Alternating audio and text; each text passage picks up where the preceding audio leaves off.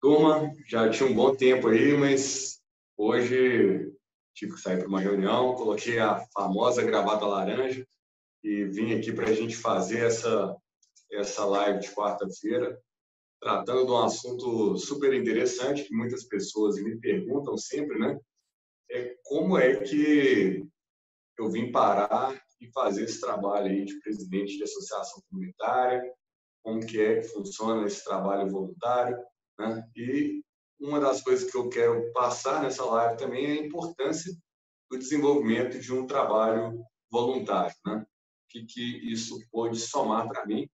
Então, hoje a gente vai fazer um bate-papo sobre esse assunto. É, estamos transmitindo ao vivo na página do Facebook e no Instagram também simultaneamente. Bem, só confirmando aqui se o áudio está ok. Acho pelo se algum comentário.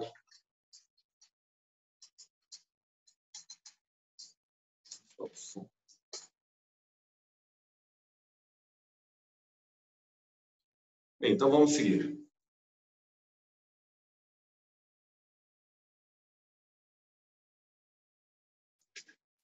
Bem, vou contar para vocês hoje um pouquinho da minha história na Associação do Bairro Buritis, que, afinal de contas, é um trabalho aí de é, quatro anos aproximadamente, que eu já venho desenvolvendo no meu bairro, né, onde eu moro e onde eu também trabalho.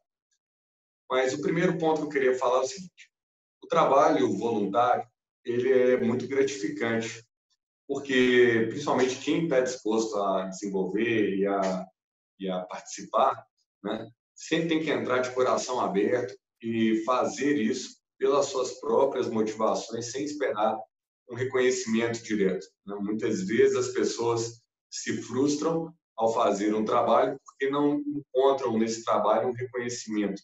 E, na verdade, isso não tem nada a ver. O, o ato de se voluntariar é o ato de doar, é o ato de é, entregar muito mais do que você pode esperar que vai fazer a diferença na vida de muitas pessoas.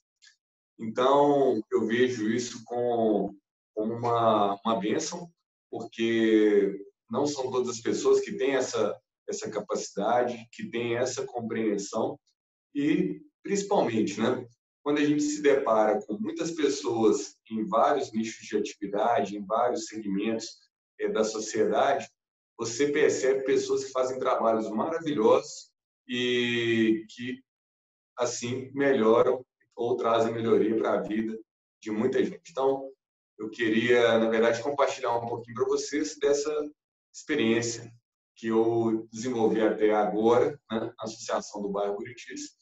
É, e começamos, então, falando de como tudo começou. Né?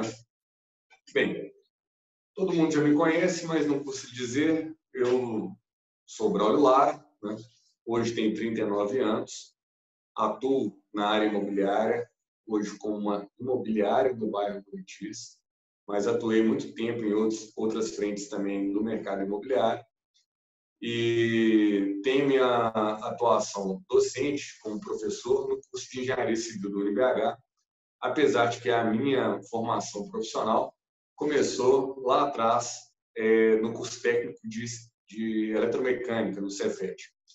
E desde então, né, eu sempre desenvolvi, no, por onde eu passei, é, algumas, é, digamos assim, alguns requintes aí de liderança, no sentido de, desde pequeno, né, dentro da, da, da minha turma de, de infância, quem organizava o churrasco, né, sempre estava o Braulio lá, quem organizava o time de futebol, quem organizava é, uma série de, de frentes, sempre tinha o Braulio lá participando, e eu sempre fiz isso com muito prazer.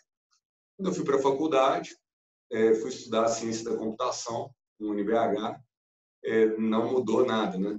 Representante de turma, é, sempre mobilizando ali algum tipo de, de trabalho coletivo, e isso foi fazendo com que eu avançasse é, sempre nessa linha de participar.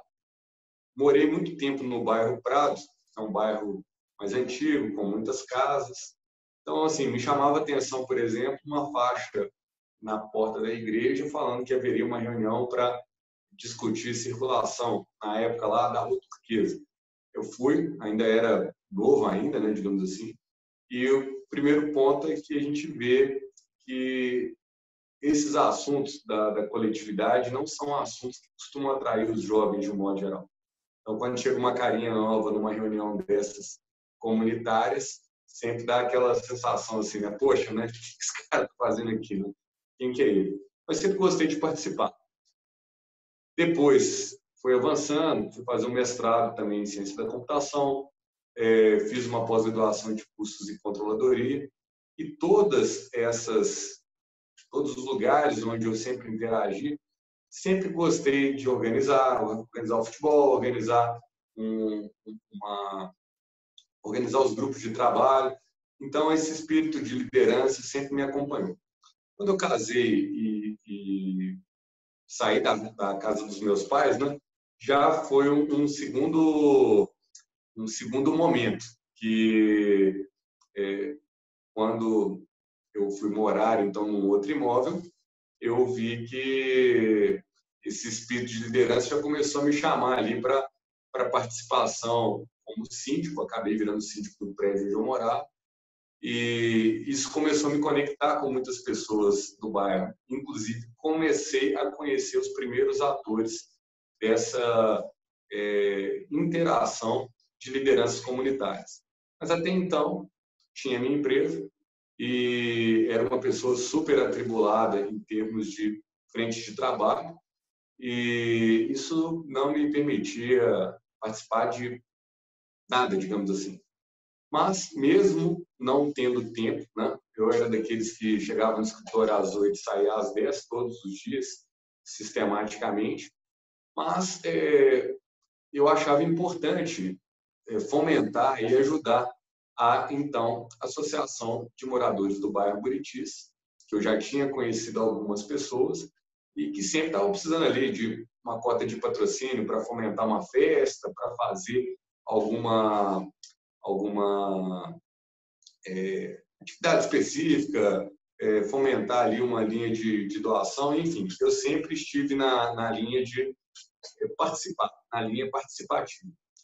Então, eu comecei a estar tá, é, tendo contato com essas pessoas, mas a minha atividade profissional me consumia 100%. E olha que eu já tinha também a minha atividade de docente, professor, então, os dias que eu tinha é, aula à noite, né, eu terminava um pouquinho antes do trabalho, por volta das seis horas, e sete horas eu já estava na faculdade para tocar a aula até as dez e meia da noite.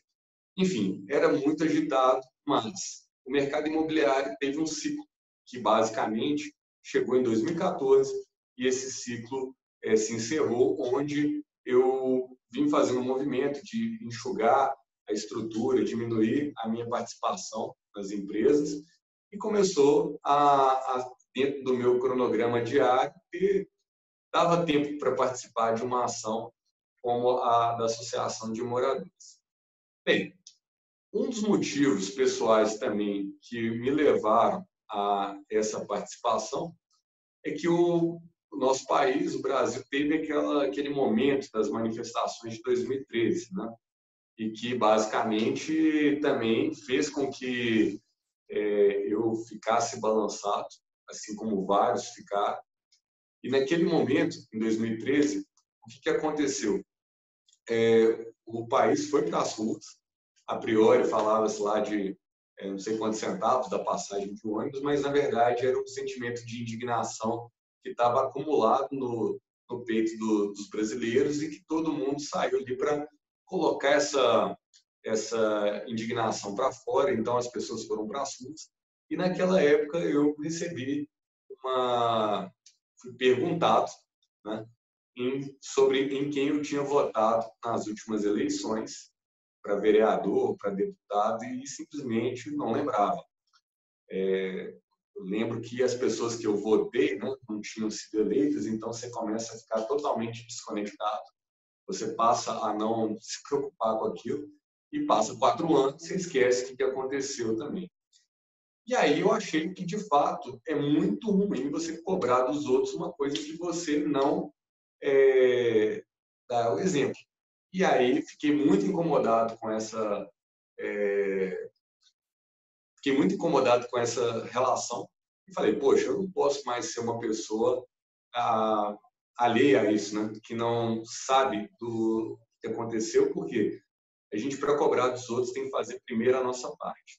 E naquela ocasião, então, eu falei, poxa, agora eu não admito mais não ser uma pessoa alienada que não esteja entendendo o contexto da política. E comecei a seguir, a ler, observar as notícias e tudo. Então, assim, foi um momento, 2013, que culminou em 2014 com a eleição presidencial, onde eu acompanhei todos os debates, eu li sobre os candidatos, enfim, eu procurei chegar mais maduro na eleição e assim fiz. Para tomada de decisão, a gente tem que estar mais bem preparado. Nesse paralelo, o mercado de construção civil ele já tinha, ele já vinha apresentando problemas, o mercado imobiliário.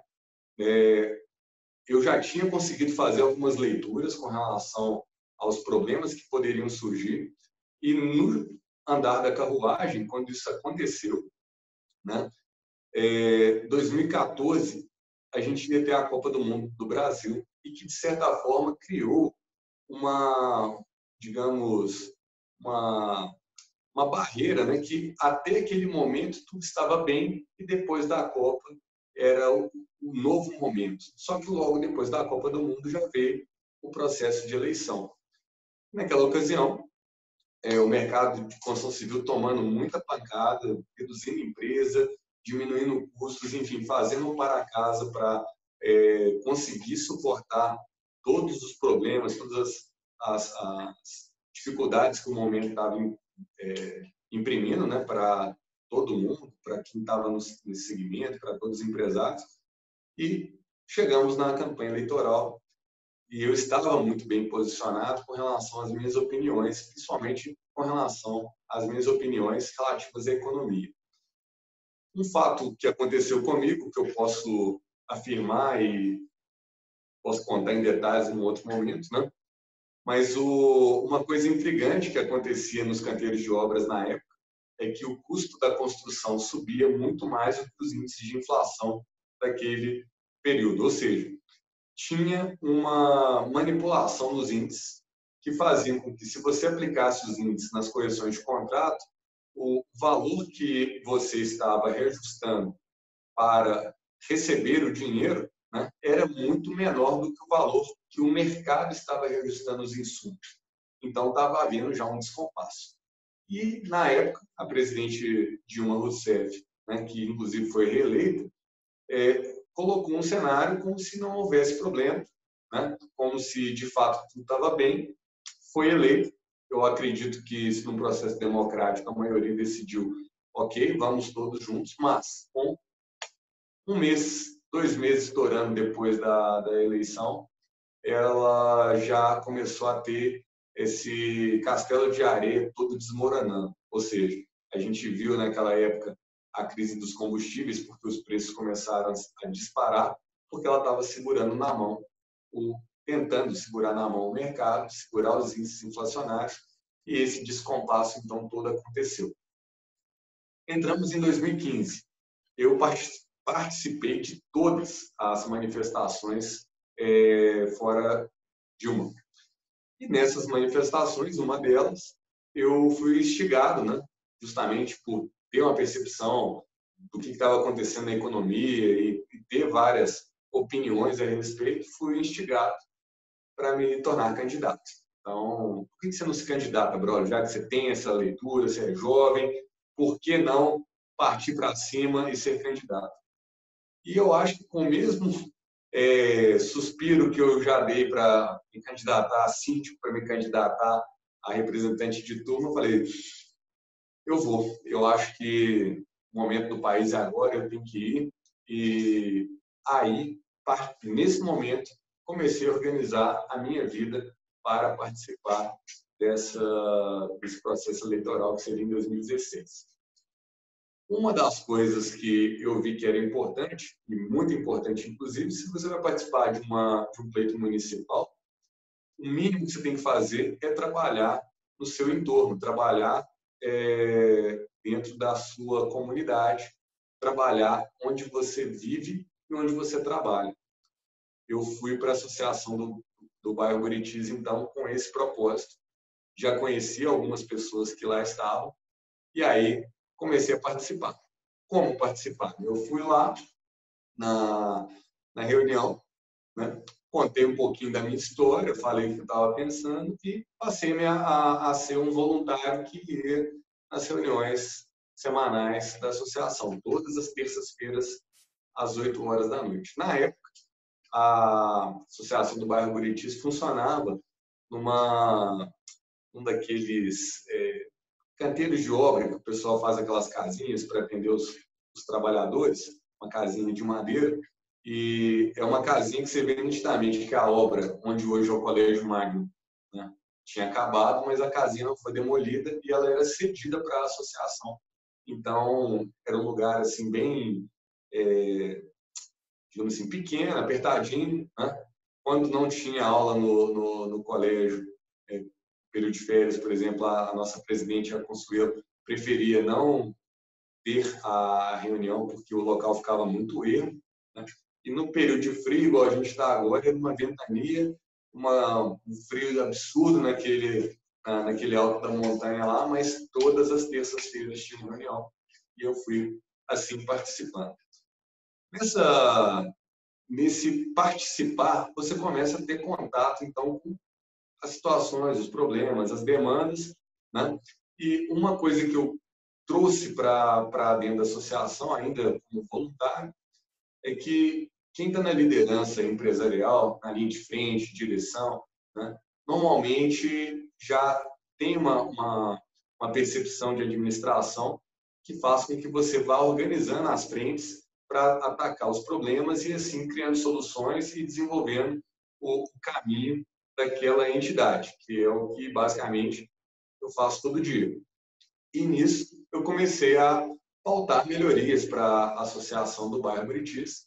Né? E a primeira delas, que está totalmente conectada com a minha área de formação, que é a área de ciência da computação, eu falei, poxa, esse site é, foi está defasado. Era um site que foi criado há muito tempo atrás, lá nos primórdios, em 1996, e a gente já estava ali em 2015, né?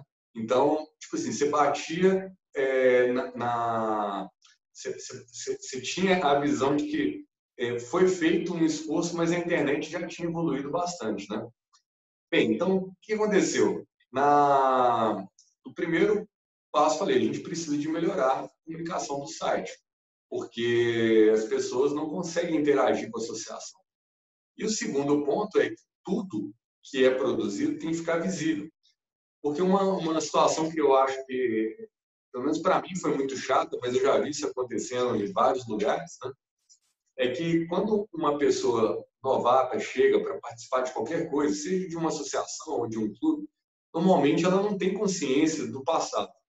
O que já foi discutido, o que dá certo, o que está errado, ela não sabe de nada e ela normalmente chega com uma ideia que para ela é a solução de todos os problemas. Então, é natural a pessoa chegar ali e, falar assim, vamos, é, vamos é, criar tal solução, né?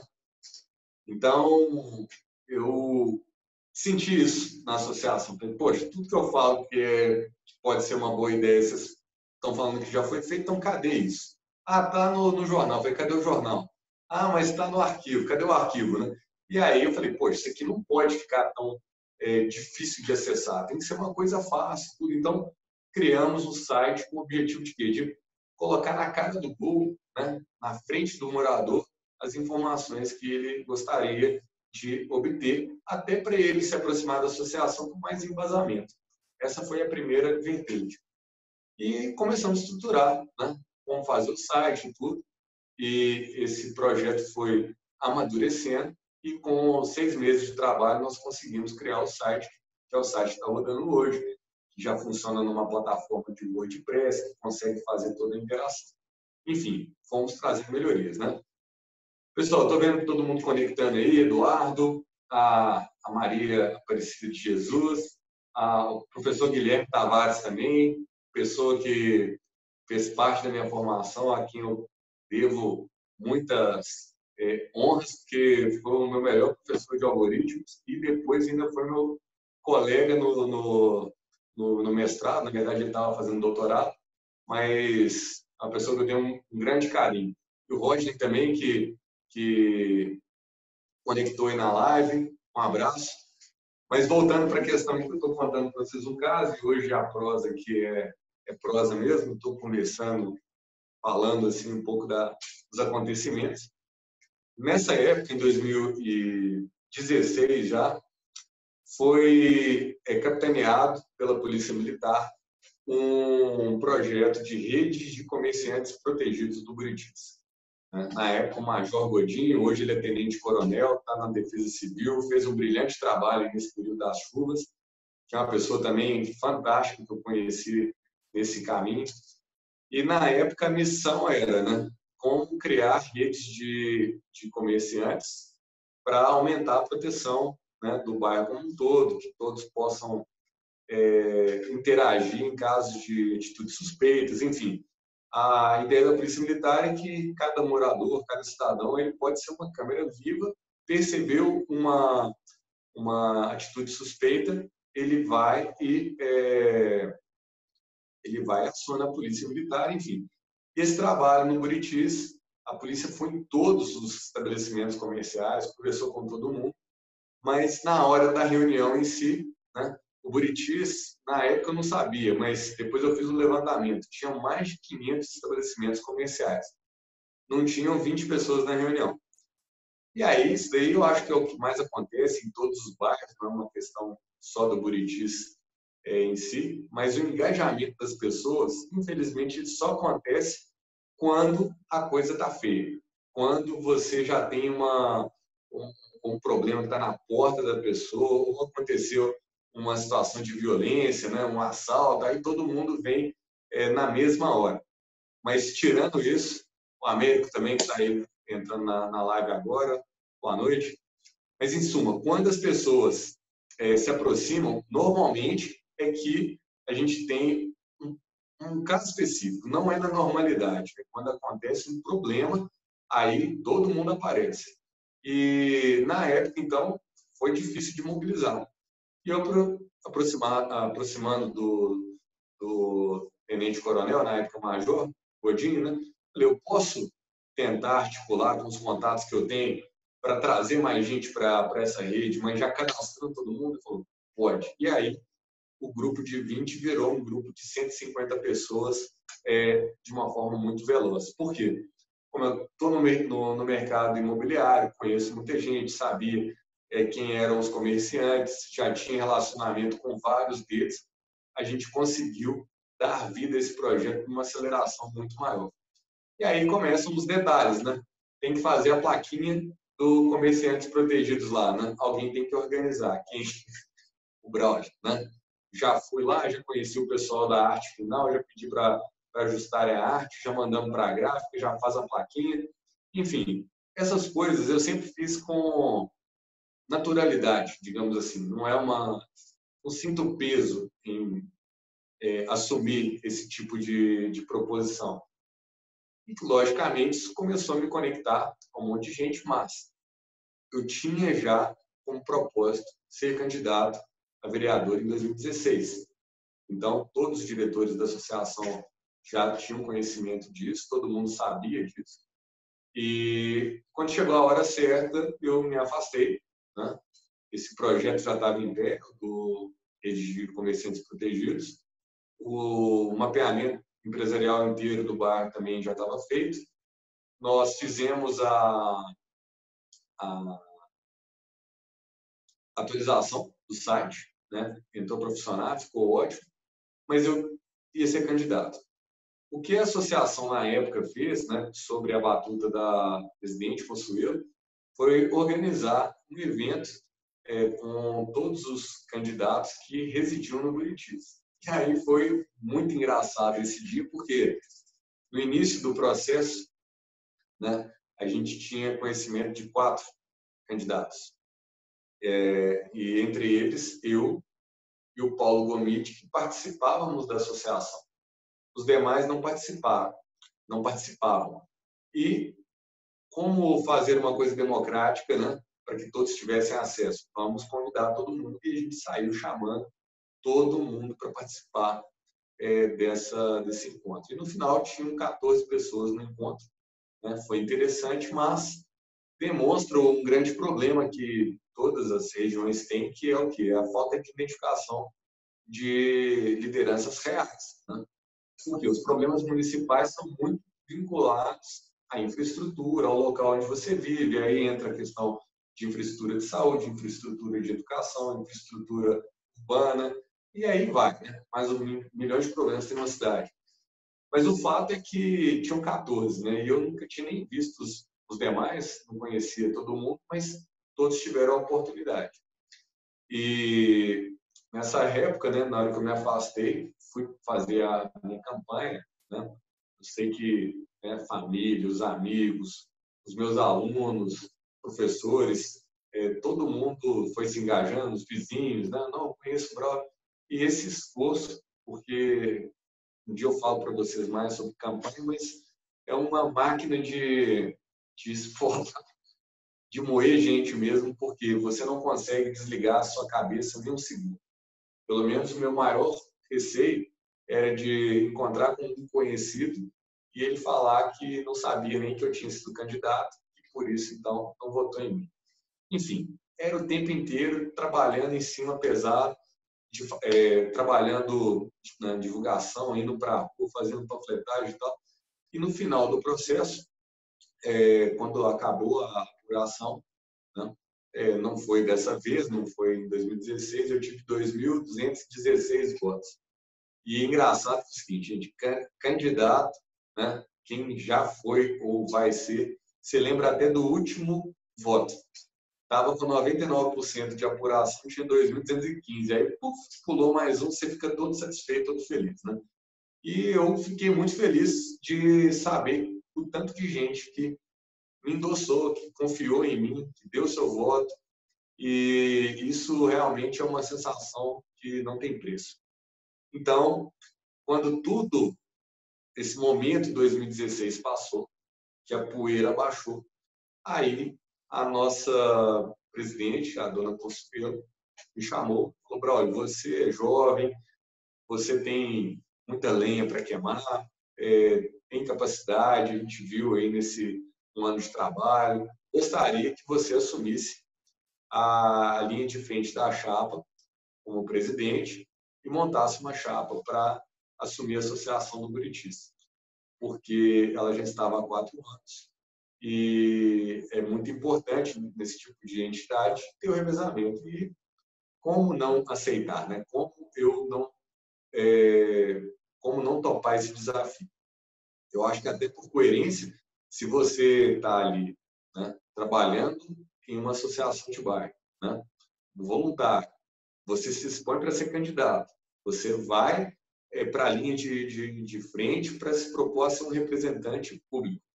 E aí, de repente, você fala, não, não vou seguir na associação não, porque eu tenho várias coisas particulares, eu tinha já, meus três filhos já tinham nascido, enfim, eu não, eu vou é cuidar da minha empresa, cuidar das minhas coisas, que é o que todos fazem. Passa esse período de campanha, a turma some. Isso daí, eu falei, eu não posso ser mais um qualquer, né? Eu topo sim, vou é, assumir essa, esse desafio e vamos tentar fazer um trabalho diferente, um trabalho diferenciado. E assim foi. Nós organizamos a nossa diretoria só com pessoas que eu conheci no ativismo comunitário, então assim não eram amigos anteriores. E vamos trabalhar. E o primeiro ponto que eu é, fiz questão de desenvolver na associação era de ter aquela aquela situação de não ter né, a, a situação de você, ao abrir as portas para o novato chegar, ele chegar sem informação. E, além disso, ainda tem um detalhe interessante, né? É que, é, poxa, quando eu estava lá agitado, trabalhando e tudo, pergunta se alguma vez eu fui numa reunião de associação de bairro. Não fui. Reunião de condomínio, olha o tanto de gente que não vai, né? Meu prédio tem é, quase 80 apartamentos, vai na reunião de condomínio e não tem nenhum quarto, não tem 20. Então, assim, infelizmente, essa cultura nossa de não engajar é a tônica natural. Eu falei, eu vou ficar é, esperando, ou, digamos assim, não vou ficar incomodado com pessoas é, não participarem. Né? Vocês não vão me ver como presidente de associação de bairro e reclamando porque só foram poucas pessoas na reunião. Vamos inverter esse jogo. 100% das nossas reuniões vai ser é, colocado ao vivo na internet. Então, assim, muito antes de ter live do, do presidente, do Bolsonaro, é, e desse monte de movimento na internet, lá atrás, 2017, a Associação do Bairro Buritis já publicava todas as reuniões na internet. Então, a gente pegava o celularzinho, colocava ele lá, ligava o, o transmissão e vamos embora. Né? E isso foi muito bacana porque a maioria, a grande maioria do bairro, né? O bairro do Buritis é um bairro com aproximadamente aí 35 mil habitantes, né? certamente acima de 30 mil habitantes. É, por que, que é, a, a, seria diferente? Imagina que uma reunião cheia de associação, né, quando está lotado, né, tem 10 pessoas. Então, eu falei, vamos transmitir, e a gente começou a transmitir todas as reuniões na live na nossa página do Facebook. No início, a página tinha mais ou menos uns 1.300 seguidores, né, 1.300 curtidas, hoje nós já passamos de 8 mil é, seguidores. Mas, qual que é a grande questão? É que de 2017 até hoje, todas as semanas, sem exceção, teve reunião. E o mais legal disso, que eu acho fundamental, é eu nunca precisei ficar ligando para ninguém falando ou pedindo ou implorando para as pessoas irem na reunião. Sempre os diretores estavam lá, a turma gostava de estar lá, de encontrar, de conversar, e a comunidade começou a perceber a associação por outra forma, porque a gente começou a levar a associação para o celular de cada um, para o computador de cada um, ou seja, às vezes pessoas que gostariam de participar, né, que tinham é, que tinham interesse de, de, de, de, participar da associação, mas que às vezes não poderiam se deslocar, né? às vezes o próprio horário, né, 8 horas da noite, nas terças-feiras, às vezes estava com, com, com alguém em casa, tinha que cuidar do pai ou cuidar da mãe, enfim. A questão é que cada um tem a sua realidade. Então era difícil de, de realmente fazer diferente. A gente precisava de mostrar que a associação estava ali trabalhando pesado. Então nós começamos a fazer as, as lives, as reuniões, todas transmitidas, e essa audiência começou a aumentar. Na outra paralela, como o site foi se estruturando de tal forma que todas as demandas a gente publicava no, no site, as notícias, é, começou a chegar menos gente que estava descontextualizada, de não saber, é, da pessoa chegar na associação e não saber que aquele assunto tinha sido tratado. Então, por exemplo, um, um ponto muito importante para o Buritis é o trânsito. Né? O trânsito do bairro, na verdade, eu até acho que o, a percepção de quem mora fora é de que o trânsito aqui é muito pior do que de, que de fato ele é. Eu te falo que o trânsito do Buritis é um trânsito intenso, mas ele não perde para outras regiões da cidade. Você vai para a região sul ou desce ali para a região central, não tem nada muito melhor do que o Buritis, não. Então, assim, é uma região que tem um trânsito intenso pelo número de pessoas que moram no bairro, mais uma faculdade em operação. Quando você fala de trânsito, todo mundo vem com uma ideia ótima, né? Ah, devia fazer isso, essa rua devia virar uma única, aqui não pode parar, estacionar o ponto de ônibus tem que ir para lá, para cá. E aí, o que nós fizemos na ocasião?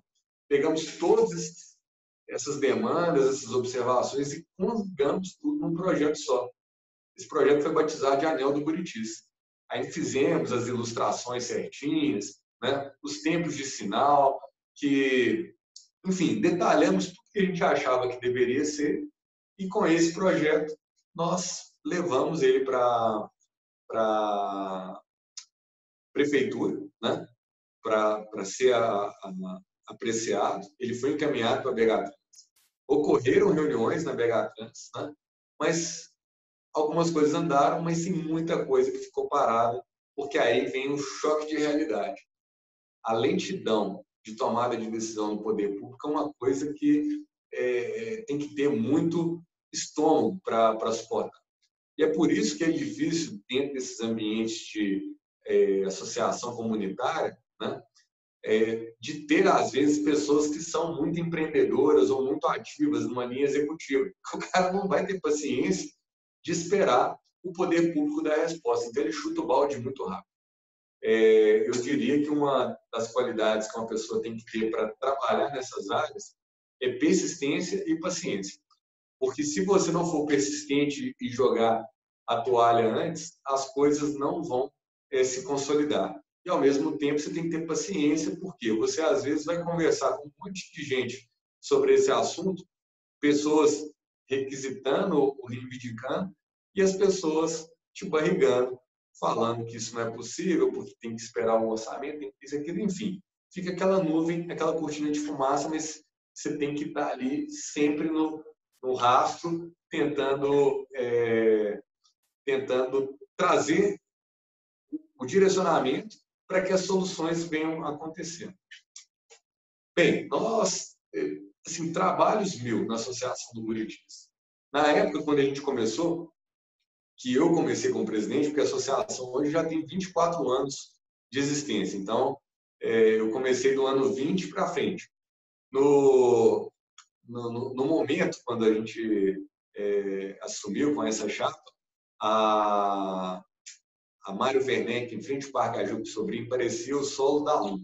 Um monte de buraco, crateras, dificuldade para os ônibus encostarem no ponto que tinha buraco, e a prefeitura é, sempre postergando a situação, porque ela, por mais que ela aplicasse o tapa-buraco, o, o solo ele era muito mole, então rapidamente tudo aparecia de novo, principalmente pelo tráfego dos ônibus, tá? enfim a única solução para o local era fazer uma mega intervenção, uma mega obra que iria descascar tudo, refazer a base do, do asfalto, né? que é a camada de baixo, pedras, né? compactação, para depois aplicar o asfalto.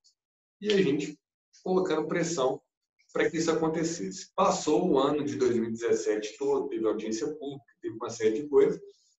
Aí, no ano é, de 2018, foi quando esse processo foi destravando, mas já era uma demanda antiga da associação, uma demanda de todos os moradores, né? Mas quando saiu, aí vem aquela, aquela, aquele sentimento de satisfação, porque você vê que o trabalho que você vai desenvolvendo sistematicamente, pautando os, os, os responsáveis, né? A, a, as pessoas que, estão na linha de decisão, quando tudo isso vai acontecendo, vem aquela, aquele sentimento de é, dever cumprido e vitória coletiva, que a vitória é do bairro, a vitória é de quem mora no, no, local, não é de A ou de B. Que aí vem a parte chata desse processo todo, que é o quê? Um monte de gente, depois que a onça está morta, quer vir bater foto. E você tem que também ter jogo de cintura para admitir todos esses atores, principalmente os atores aí políticos, né, que estão tentando, às vezes, numa linha de articulação, né, entre aspas, mandando ofício para pressionar o prefeito, mas a filosofia nossa é o seguinte, cara, todo mundo que está ajudando é bem-vindo. Não tem esse negócio de falar que é feudo de um ou feudo de outro. Quem está afim de ajudar é bem-vindo. A gente precisa de ter pessoas ajudando. Cada um o seu escopo, cada um o seu papel. Então, eu vejo que é, direcionar uma associação de bairro é ser equipe, é ser time, é ser comunitário, é ser de todo mundo, é dar ouvido para todo mundo, fazer com que as pessoas se sintam importantes em participar. Então, por, pela, pela entidade ser uma entidade que já está é, em atividade há muito tempo, cara, o, quando chegava um, um novato querendo implantar alguma, alguma nova frente, alguma coisa, ótimo. A gente precisava de quê? De trazer todo mundo, abrir novas frentes. E aí eu conheci nesse período também pessoas maravilhosas, fazendo trabalhos sensacionais, como a Miriam Basqueto, que desenvolveu o projeto Asprame, o Eduardo, que também está conectado com a gente na live, que faz um trabalho sensacional aí de conscientização das famílias em torno do, do Alzheimer. É, conheci o Carlinhos, do projeto Bom na Bola, Bom na Vida, também faz um projeto social fantástico. Conheci pessoas do, do, do entorno né, que fazem trabalhos sociais é, super interessantes. Então, o Wesley, lá do projeto Jovens Estrelas, o Jimmy, é, no projeto do Instituto Relute, com as crianças ali da Ventosa. Estou tomando cuidado aqui para não esquecer de ninguém. É, enfim, muita gente, né? Eu fui conhecendo a, as pessoas que atuam na, na, nas regiões vizinhas, como lideranças comunitárias, né? o Gladson, o Sérgio Oliveira, lá da, da Associação do 1 de Maio da Vista Alegre, que inclusive é uma associação mais antiga ainda, e é super bacana de ver o trabalho que eles desenvolvem. Em suma, é, comecei a conhecer pessoas que também tinham grandes ideais falei, cara, vamos, vamos trabalhar juntos. O que a Associação do Bairro Buritis puder fazer para ajudar e para potencializar o trabalho dessas pessoas que às vezes estava, é, digamos assim, muito acanhado por ainda não estar tá tendo a visibilidade necessária, vamos embora, vamos colocar no jornal, vamos colocar na, na página, no site, e assim as coisas foram tomando proporção. Trabalhamos forte em 2017, 2018. Né? Chegou no ano de 2019, também foi uma, um outro ponto de realização que eu acho assim, um, é um dos projetos da associação que eu me orgulho e eu gosto muito, que é o projeto Adote o Verde com a ABB, que foi também uma, uma sacada em cima da dificuldade da, prefeitura de fiscalização versus a necessidade de interagir a comunidade para fazer com que os espaços públicos fiquem mais qualificados, mais bonitos e tal. Então é o seguinte, quando começou lá em 2017, né, a gente, é, infelizmente, quando os governos né, alternam, muitos processos é, burocráticos, administrativos ficam tropeçando. E a, o fato é, a gente já estava em meados de 2017 e a prefeitura não conseguia fazer uma capina, não conseguia fazer nem uma é, manutenção de canteiro nem área verde. O matagal estava por todo lado e principalmente no Curitiba tem uma pista de caminhada super frequentada. Nessa pista de caminhada é, as pessoas estavam incomodadas ali, o mato tinha crescido, enfim, tinha que arrumar. E a gente pressionando a prefeitura, eles custaram, mas deram um jeito lá de botar SLU para fazer o serviço, né? É, deu uma, uma resolvida, mas muitos canteiros tinham aquelas plaquinhas de patrocínio de empresas. E aí começamos a questionar, por que, que tem placa no canteiro tal e vocês então não fiscalizam? E o fato é que a prefeitura não consegue fiscalizar. É, cobrei que eles fizessem, então, contato com essas empresas para conseguir é, colocar a manutenção em dia, mas, num determinado momento, me falaram que a gente mesmo podia ligar diretamente. Eu falei, opa, peraí, tá errado. Eu vou ligar para uma empresa que está lá com o canteiro mais é, desorganizado possível, que já tinha chutado o balde, que não estava fazendo aquilo ali a secas. Eu vou pegar e vou ligar para cobrar desse particular que ele faça? Além disso, quais são os termos do contrato que ele tem com a prefeitura? O que ele tem de obrigação? E as perguntas começaram a surgir, mas a gente achou que não fazia o menor sentido é, a população cobrar diretamente. Ou a prefeitura fazia isso, ou aí foi onde começou o projeto. Né? Nós queremos adotar, então, as áreas verdes e nós vamos trazer os coadotantes. Se o coadotante parou de cumprir o papel dele, ele vai ser imediatamente removido do projeto, outro entra e a coisa vai seguir. Então, nós organizamos a adoção de todas as áreas de canteiros e praças do bairro para dentro desse projeto.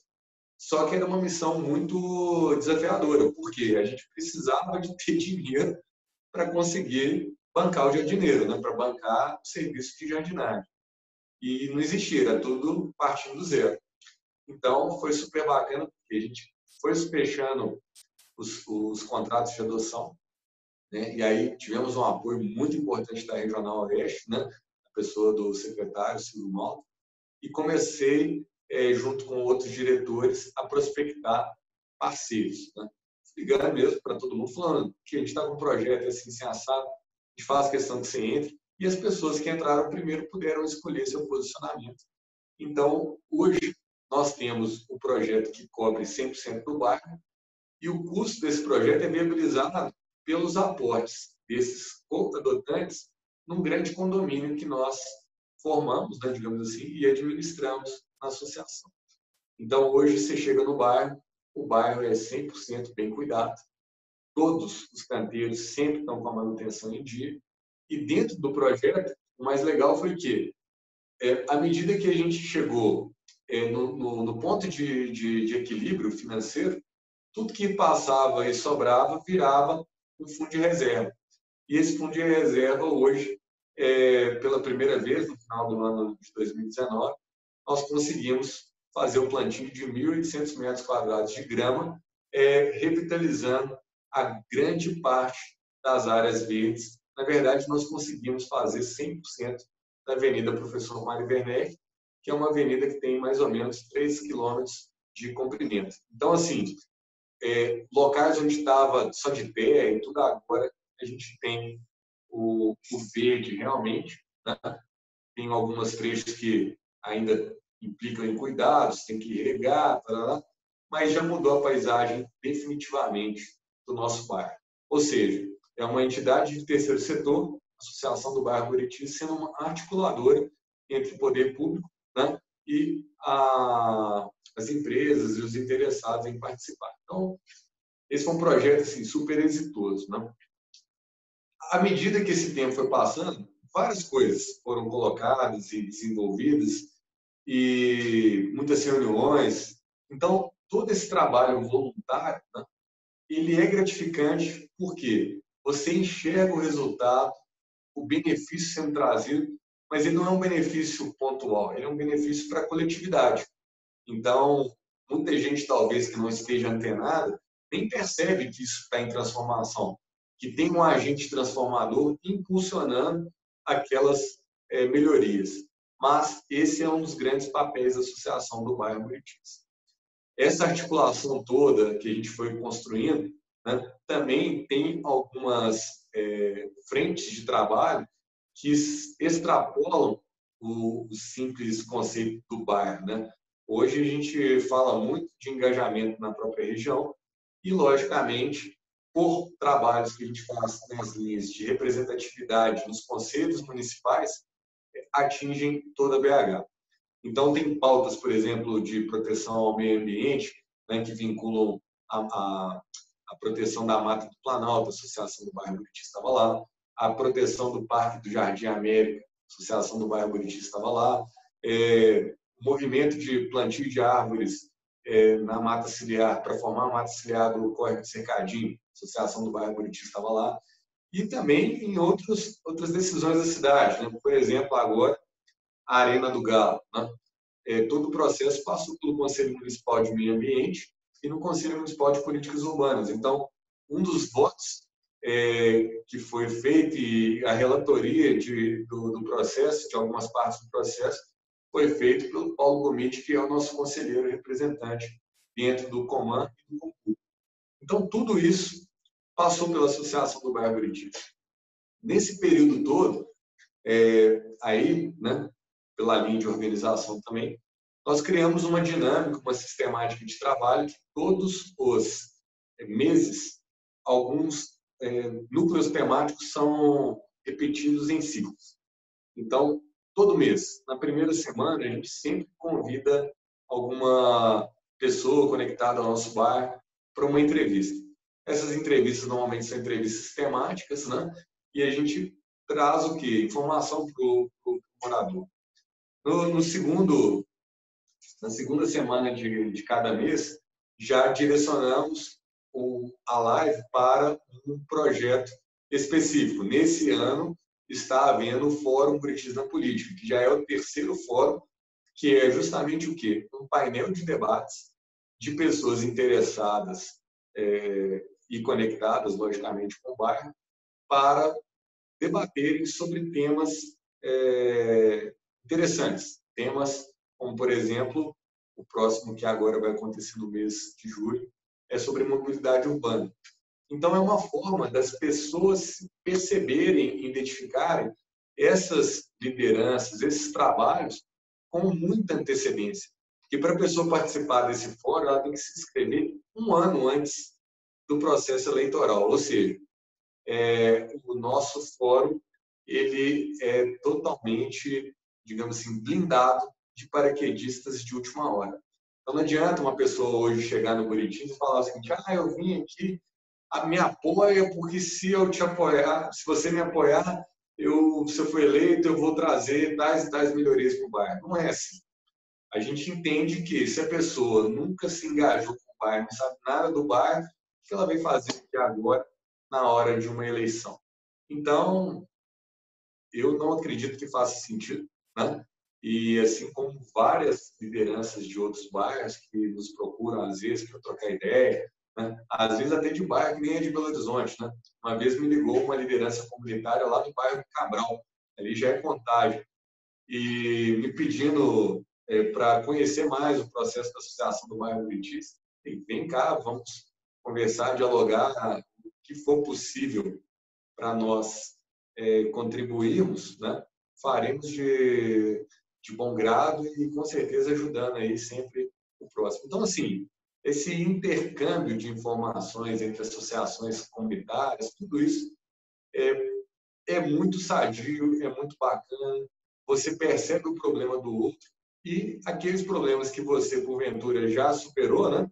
É, conta para o cara o caminho, conta para ele qual é o processo, como funciona, para você ter uma, uma efetividade, um desempenho que, às vezes, foram anos de murros em ponta de faca que já foram desvencilhados. Ou seja, o que a gente puder contribuir, podem, podem sempre contar conosco na associação. E essa foi a tônica da nossa gestão, da nossa administração, porque os pontos positivos que foram criados dentro do Buritis, né, eles podem ser criados em qualquer lugar da cidade, mas o ponto fundamental é o quê? As pessoas participem e se engajem.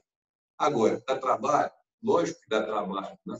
É, são reuniões à noite, é uma reunião às vezes durante o dia. Então, eu, como tenho minha atividade empresarial e consigo flexibilizar minha agenda, é, consigo ir, mas eu sei que tem gente, às vezes, que é assalariado, que tem um compromisso de horário é, restrito, aí já não dá, porque quando a prefeitura te chama para essas coisas, a reunião é três horas da tarde ou 10 horas da manhã, enfim. É, nós sempre nos desdobramos entre a diretoria para participar de tudo que fosse possível, justamente para trazer essa, essa linha de buscar as melhorias para o bairro, buscar as, as é, ações que normalmente são exercidas pelo poder público no nível municipal, ou seja, pela prefeitura, para resolver o, problema do bairro. Problemas tem vários, né? muitos problemas, mas fazendo um fluxo sistemático de cobrança, de registrar os pedidos, de é, repassar esses pedidos. Então, uma vez por mês a gente faz reunião com a Regional Oeste, repassa o checklist, e assim as coisas têm andado. Então, trabalho, deu trabalho e dá trabalho, né? mas particularmente eu faço com gosto. Sou muito feliz de participar da associação com um time de diretores que também gostam, que participam, que vibram com as, com as vitórias. Né? Então, fica aqui, inclusive, meu agradecimento a todos os meus, é, os meus pares, né? o Romulo Belfort, que é o nosso vice-presidente, o Francisco Pimentel, Consuela Regui, Jane Vaz, Aida Arnaz, o Ellison Avelino e o Mauro Gavião. Hoje esse é o, o nosso é, time principal. E sem contar nos voluntários, né? O Paulo Gomide, que é conselheiro nos, nos comitês municipais, a, a Rosimeire Martins, que também é meu braço direito na, na parte de comunicação, Em suma, todos nós juntos, cada um fazendo um pouquinho, a gente é, consegue avançar.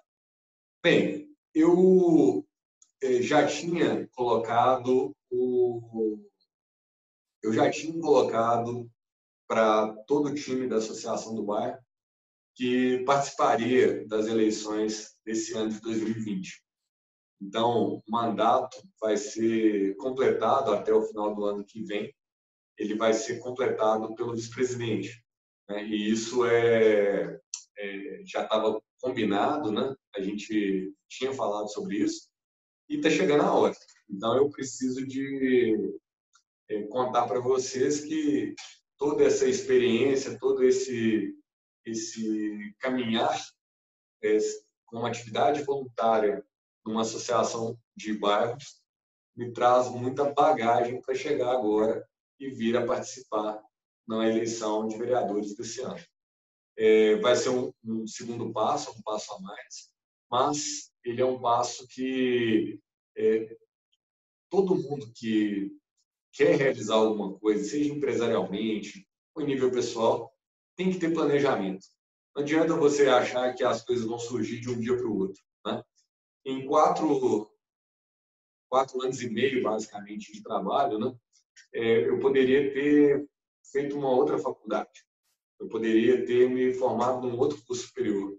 Mas quatro anos e meio de trabalho voluntário no nível comunitário me dá muita bagagem para é, servir né, como parlamentar municipal é, no como parlamentar municipal nessas próximas eleições. Então, pessoal, eu estou trabalhando pesado para que isso dê certo. Né? O cronograma está aí. Então, eu só tenho a agradecer todas as pessoas que passaram é, na minha trajetória, na minha vida. Muita gente que eu, com que eu pude aprender. Né? Pessoas, às vezes, de um segmento totalmente diferente. Então, por exemplo, a, a Maria da Copemar. A Copemar é uma cooperativa que faz o, o processo de, de recolhimento do, da coleta seletiva, no caso aqui no Buritis, nas segundas-feiras, né? apesar de estar suspenso por causa da pandemia, mas é, são eles é que fazem todo o processamento de recicláveis.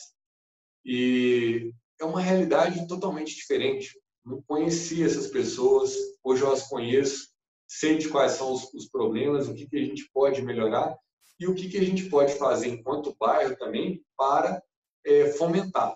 Então, é uma linha super é, bacana porque você percebe o outro por outro ângulo. São pessoas, às vezes, que simplesmente no meu segmento profissional ou no meu segmento acadêmico, talvez eu nunca tivesse é, tido contato é quando eu encontro as lideranças do Conselho Regional de Transporte e Trânsito, né? Aí encontro com a Carla, encontro com o Gladson, que eu falei dele, o senhor Jânio, o, o, o Oswaldo lá do Prado, é, a dona é, Helena do, do, da Ventosa, em suma, são pessoas que têm os seus, os seus, as suas demandas, as suas necessidades, né? e que começam a se organizar lutando em prol do bem comum. Então é isso, pessoal.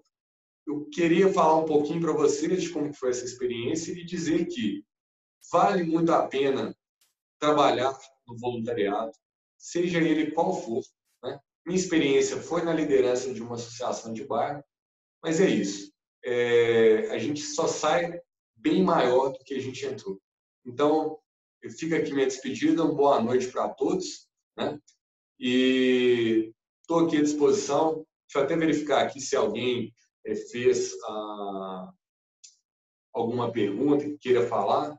A parte que eu tinha planejado foi essa. Né? Aliás, tem um negócio bem interessante que eu não comentei, que eu acho que vale a pena, né? É que a gente tem é, o grande. Eu acho que uma das coisas que mais me marcou na, na, na associação e que o Paulo Gomide até brinca comigo e, e fala que foi uma libertação para ele, que você editar um jornal todo mês. Então, a gente sabe de... de é, aliás, sabe não, né? Você desenvolver sistematicamente, todos os meses, uma publicação editorial, né, com oito páginas, que é o caso do jornal Folha Buritis, que tem que conjugar todas essas ações que foram feitas e tudo, não é brincadeira. Por quê? Porque o trabalho é todo voluntário.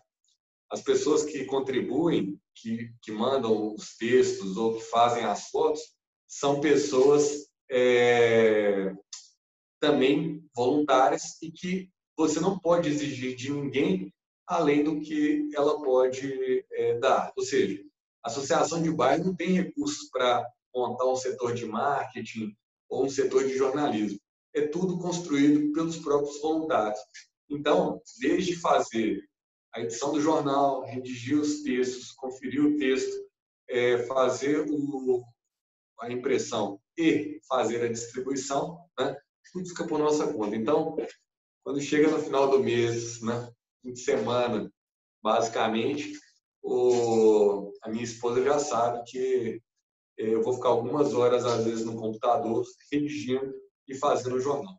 E aí tem um outro negócio também que eu acho é, interessante falar, né, que é, mata qualquer um de raiva, tá? mata qualquer um de raiva, é você gastar horas e horas criando um jornal de associação de bairro que tem o objetivo de informar o morador, de falar para ele sobre é, o que está acontecendo, e aí você né, distribui aquele tanto de caixa, chega lá, é, vem um infeliz lá e pega um bolão com, sei lá, 100 jornais para levar para casa o cachorro dele.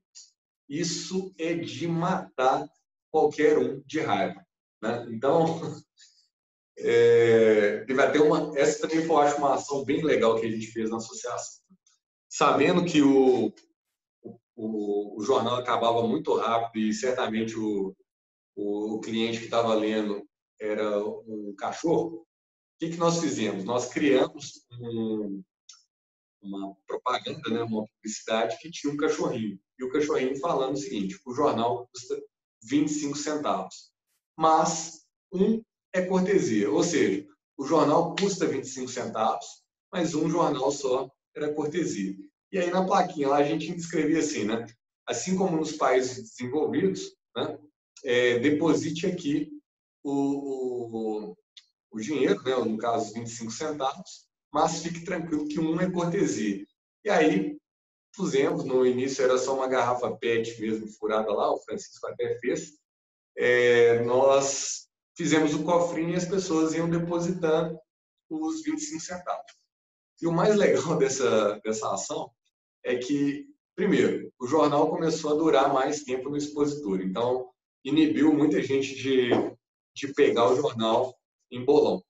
E o segundo ponto é que, com o dinheiro que a gente arrecadava, aí na faixa de uns 20 reais por edição, era o dinheiro que a gente usava para impulsionar o próprio jornal no Facebook, fazendo com que as pessoas, de um modo geral, conseguiriam é, ver o jornal digitalmente. Então foi super, foi super, é, foi super legal, sabe? É, aqui na, olha só, gente. Jornal Folha Buritis. Esse aqui foi o do mês passado e o do, desse mês vai ser impresso amanhã. Então, em breve vocês vão ter também na, é, acesso a ele na Então é o seguinte, essa do jornal acho que foi legal contar, porque, gente, vocês não têm ideia do que, que é você ver uma pessoa pegando é, 20 e 100 jornais de uma vez, né? E, e aí, detalhe, nós já tivemos situações de dar o flagrante, né? Uma vez eu vi uma dona tirando, falei, a senhora está é, levando mais de um jornal? A senhora viu aqui que é 25 centavos? Não, estou levando para o meu condomínio. Não tem problema, mas custa 25 centavos. A dona ficou, assim, pálida do meu lado e preferiu é, devolver todos, né?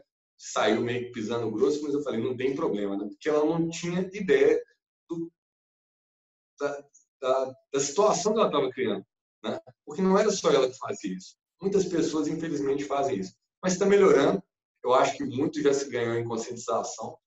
E a gente vai lutando com essas, com essas forças que a gente tem, né? Inclusive, teve um dia desse aí, eu, a Carla, que está é, conectada também, ela falou que a gente tem a nossa voz. E quando a gente faz a nossa voz ser tratada de forma é, de igual para igual, quando a gente passa a ter um, um grau de respeitabilidade por justamente apresentar um trabalho consistente, estruturado, a gente realmente começa a abrir canais mais é, firmes, mais perenes com o poder público. Todo mundo reclama da política, mas no nosso processo democrático é onde está a decisão, é onde a gente vai fazer esse, essa linha de frente. Né? Inclusive, o, o Carlinhos aqui colocou 24 anos de muitas lutas, vitórias, graças ao voluntariado. Carlinhos, que é uma pessoa também fora de série, que a gente até brinca que ele é o garoto superativo, né? Liga de manhã cedo só desliga à noite e está sempre se movimentando. Então, é outra pessoa que eu tenho maior carinho, maior admiração. Gente, eu vi que vários vocês colocaram aqui as, as é, mensagens, né? A Carla colocou aqui, o Eduardo também. Eu agradeço todo mundo. E a gente vai, a Shirley também, a Shirley é, foi candidata ao, ao Conselho é, Tutelar também, uma pessoa que eu conheci por estar na associação, uma pessoa fantástica também, enfim. Gente, eu acho que esse, essa oportunidade que eu sempre que eu tive e estou tendo cada vez de conhecer mais pessoas para que elas todas juntas consigam melhorar o seu entorno, é fantástico. E da minha parte, apesar de eu ser um só, né, eu tenho minhas atividades profissionais, tenho as minhas atividades acadêmicas, sou pai de três crianças. Nesse período de pandemia, é, não basta ser professor universitário, tem que ser professor de educação infantil também, fazer o para casa. Tudo isso acontece com todos. Mas eu nunca olhei para o trabalho voluntário com peso nas minhas costas eu sempre vi ele como uma coisa gratificante. Então é isso. É, a Associação do Bairro Buriti está de parabéns pelos 24 anos. Né? Vamos soltar essa edição especial na internet. E quem está assistindo essa live ou quem vier assistir depois, pode saber que que precisar ou que quiser conhecer mais, mais informação, podem sempre entrar em contato comigo, seja dentro da associação ou até mesmo em particular, que eu esses assuntos eu converso com o maior prazer. Né? Então é isso, pessoal. Acho que vamos encerrar. Agradeço mais uma vez a todos. Agradeço a todos que têm me apoiado. Né? Nesse momento, há muita gente pergunta, ah, Broly, mas que eleição, né?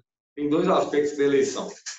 Primeiro que tem uma movimentação para ela ser adiada para 15 de novembro. Eu acredito que isso vai acontecer. Mas o que está vigente hoje e o que eu posso ventilar na linha de pré-candidato é que estou pedindo apoio de todo mundo. Né? Fiz uma vaquinha virtual, eu quero apoiar.com.br, barra Braulio Lara. É uma vaquinha ali que todo mundo ajudando um pouquinho já ajuda muito o, candidato, né, o, o pré-candidato ainda, porque é, se todo mundo se engaja um pouquinho, gente, não fica peso nas costas de um só. Uma coisa que eu abomino e eu acho ridículo é um candidato falar depois que já foi eleito ou não foi eleito que gastou milhares e milhares e milhares de reais no bolso dele e aí se ele chega eu tenho certeza que o primeiro sentimento que vem é o sentimento de é, de recuperar o investimento, ou seja, de buscar o que ele aplicou. Eu acho isso aí um, uma coisa ruim, não é sadio, então, por isso que eu conto com a ajuda de todo mundo e estou muito feliz por ver tantas pessoas que eu nem esperava de estarem me ajudando. Então, agradeço mais uma vez e a gente se vê. Tá bom? Valeu, pessoal!